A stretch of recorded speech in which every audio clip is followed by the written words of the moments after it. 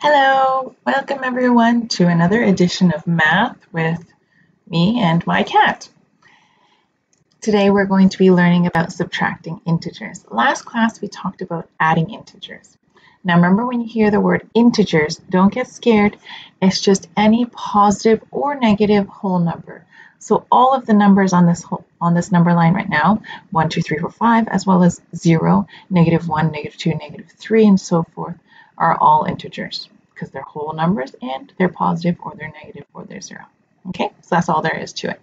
So last class we talked about adding integers and that was, I showed you use the number line.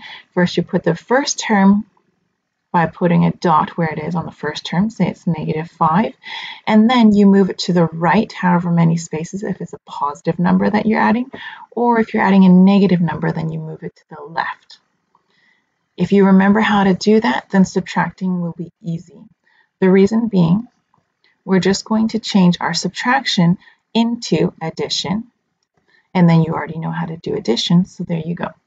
So I'll show you how to change it into addition. So you need to add the first term to the opposite of the second term. So just a quick reminder of what is opposite.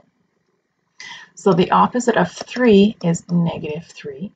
The opposite of negative 5 would be positive 5. Remember the opposites are equidistant. They're equally far, equally distant from 0. So 3 is 3 spaces from 0, and negative 3 is also 3 spaces from 0. That's why opposites cancel each other out. So this will tie into how we can subtract integers. So for 2 minus 4, you can do it by putting the first term in. And then now you can change it into an addition by adding it to the opposite. So this is a 4. The opposite of 4 would be negative 4. So we've changed it to addition by just making the 4 into a negative 4. Okay, in the same way, let's put this one. We've got 2 minus this time. We're going to change it into an addition by making the negative 4 into the opposite. And the opposite of negative 4 is plus 4. For this one, we have a negative 3. Don't worry about that. Just keep it there. Change the subtraction into addition by changing the second term to its opposite.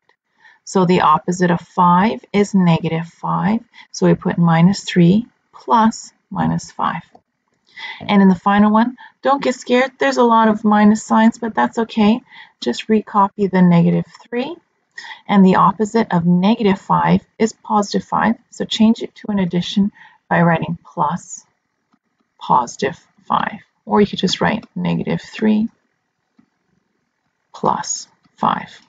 Okay, now you know how to do it by placing it onto the number line. So let's put them all into the number line. Let's do 1 in green. So number 1 is 2 plus minus 4. So let's start with 2 here. We'll put plot 2 right here. And since we're adding cold, we're moving to the left 4 spaces. So let's move 4 spaces. 1, 2, 3, 4. And we end up right here at negative 2. So 2 minus 4, or 2 plus negative 4, is negative 2. Let's use red, I believe. I can't tell with the nocturnal colors for 2. And again, we'll start at 2 here. We'll plot it at 2. And since we're going to a plus 4, you don't even have to plot this. You know that 2 plus 4 is 6. Let's go to our code brown for 3. For 3, we're going to start at negative 3, so we'll plot our code brown at negative 3. And then we're adding cold, we're adding a minus 5. So we're going to move to the left, 1, 2, 3, 4, 5 spaces, and that leads us to negative 8. And for the final one, let's use blue, I think that color is. And again, we're going to start at minus 3 this time. We'll plot at minus 3, but this time we're adding 5, and it's a plus 5, so we're going to move to the right. So let's go 1, 2, 3, 4, 5. And that takes us to 2 plus 2, positive 2. So the answer of number 4 is plus 2 because negative 3 plus 5 is 2. Or you could also think negative 3 minus negative 5 is 2.